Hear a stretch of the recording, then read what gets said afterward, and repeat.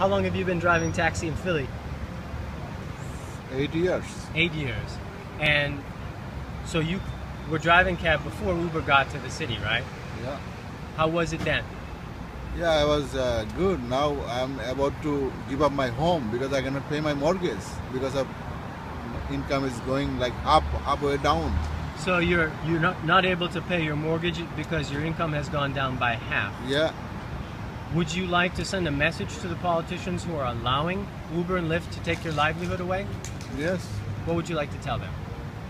I want to tell them, you know, uh, because Uber, the way they are, you know, operating, that is illegal, and you know, just they are picking up from anywhere, any place, you know, systematic way, and uh, you know, taxi cab is uh, authorized by you know city and everything. You know, we have insurance, and uh, that's why you it seems to be Uber is illegal, and just they are taking our customer Mhm. without reason. You know. And what do you think